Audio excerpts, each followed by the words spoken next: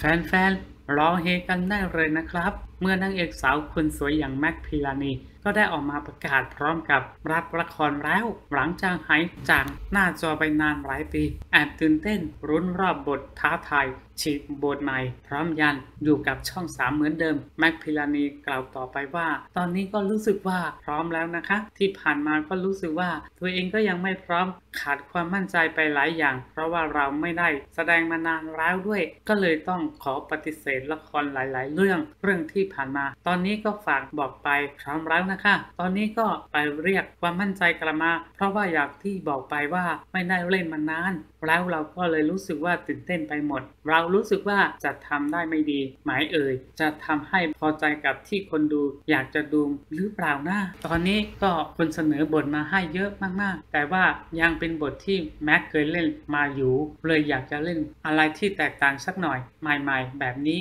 ที่ไม่เคยเล่น หลายๆ คนก็ต้องพูดว่าน่าจะได้เห็นแม็กเล่นหลากหลายมาตั้งนานแล้ว แต่มันก็น่าจะมีอะไรที่สุดได้ในกว่านี้ตื่นเต้นคิดภาพตัวเอง ไปอยู่ในกองก็ยังคิดภาพไม่ค่อยจะออกด้วยความที่เราหายไปนานนี่แหละ มันก็เลยเหมือนตื่นเต้น ทั้งๆทที่ยังไม่ได้มีอะไรเข้ามาเลยนะ แต่พอเรานึกภาพว่าแบบนี้เราก็จะต้องไปเริ่มอยู่ตรงนั้น เขารู้สึกว่าตื่นเต้นแล้วล่ะค่ะ